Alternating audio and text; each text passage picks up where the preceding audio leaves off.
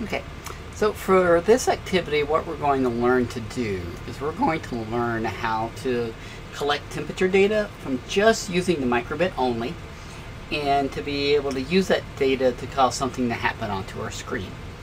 So how the microbit records temperature data is that they're actually recording the temperature on the surface of the microbit.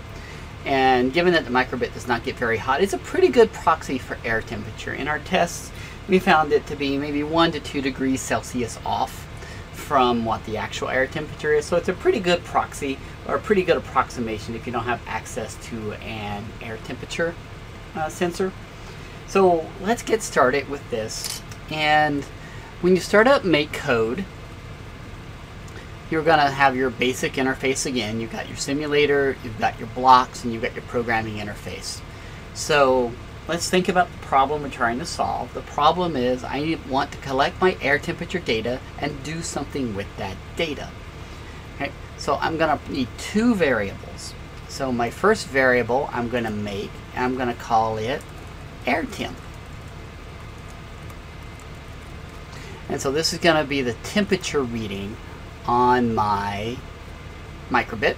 The second variable I'm going to make is called high temp. And what this is going to be, this is going to be my threshold variable. So this is going to be a variable I'm going to define that if the temperature is over a certain number or a certain temperature, that's a problem and I want to know about it. Okay, so let's click OK there. Now, in my program block, in my onStart, one of the things that I'm going to do is I am going to define my high temperature block, my high temp to be, let's say, 25 degrees Celsius. Okay? And again, you can kind of think about 25 degrees Celsius, roughly roomish temperature, a little bit, a little warm. Um, I guess it depends on your point of view. 37 degrees is about 98, that's body temperature in um, Celsius, and again, zero is freezing. But now I've got a global variable defined high temp to be 25. Okay. Now let's go into my forever loop here. So in my forever loop, that's where I'm going to begin to collect my data because this is the loop that's going to run over and over again. So let's go into my variables. I am going to set my air temperature reading. Okay. So this is the variable that I want to add my data to. Okay, I'm going to set it to my temperature on my microbit. That's under the input block. And when you look at the input block, we've got all sorts of different things that we can add in. And right down at the bottom is my temperature. So now I've got my variable air temp. It's going to be assigned the reading of temperature from the microbit. Okay. Now that I've got that, I can show that temperature on my microbit. So under my basic block, I can go grab show number. I can put that right underneath my air temperature and I can say show me this variable air temp. Now if you're going to get a lot of decimal points, sometimes a good strategy is to go into the math block and you can scroll down and choose round and you can drag that round out and you can put the air temperature where that zero is and then put the round air temperature in that show number block and that's going to round your air temperature say from 21.5 to 22 or 22.5 to 23 and again given the uh, sensitivity of the sensor it's a pretty reasonable thing to do. Because again the text is going to scroll across your microbit and it's not the fastest thing so you don't want to have you know like eight decimal points after your actual temperature reading. Okay so now let's do something with this number. So now I've got it showing up on my screen so I know what it is. Let's create an if then statement. So we're going to run a condition. So I'm going to click on my logic block. I'm going to choose this if then else block. Okay. Notice there's this hexagonal true. I want to compare two things. So what I'm going to compare is I'm going to compare my high temperature, which is my global variable that I've set to be 25. If my temperature gets over that, worry. And I'm going to compare it to the reading that I'm getting on my microbit, which is my air temperature.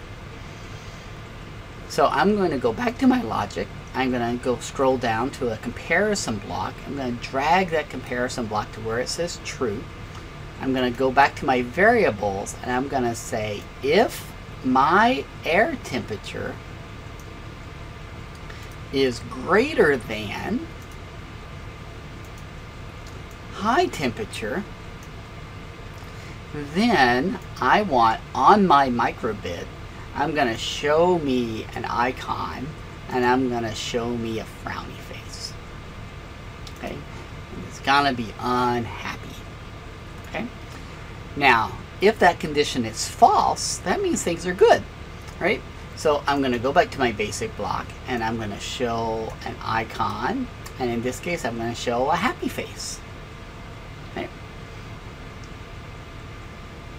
So how this program is going to work is it's going to open up the program. It's going to set this high temperature variable to 25.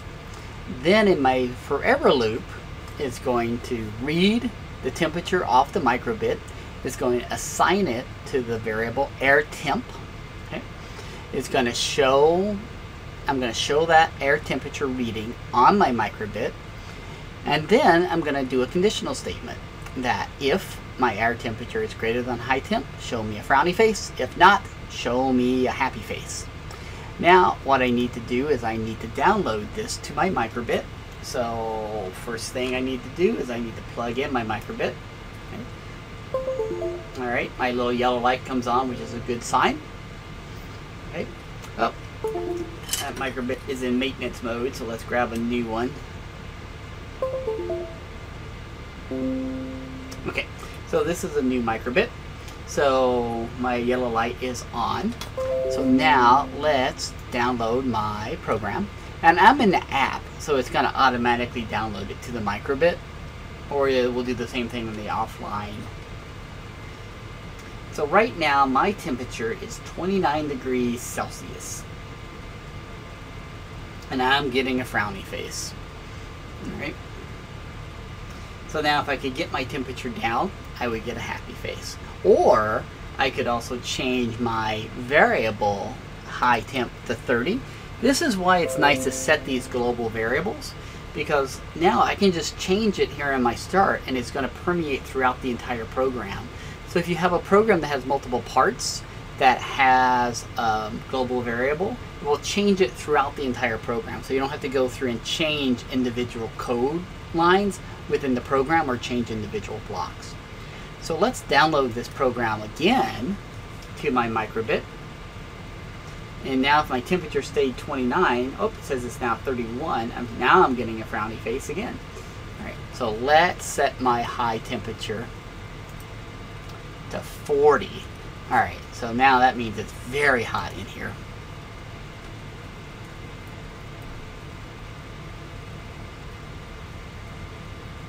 There, I'm getting a happy face. All right, so now my temperature is 31. My threshold temperature is 40. All right, now let's see if I put my fingers on the circuits. I should be able to get my temperature to go up. All right, and eventually I'll hit up to 40, maybe. We'll see. But now I've got a frowny, a happy face. So that is really how you create an interactive monitoring of your temperature. And now you can just plug this in you can unplug it from your computer, keep it plugged in, and you've got a temperature clock, basically, that's going to show you what the temperature is right onto your microbit screen.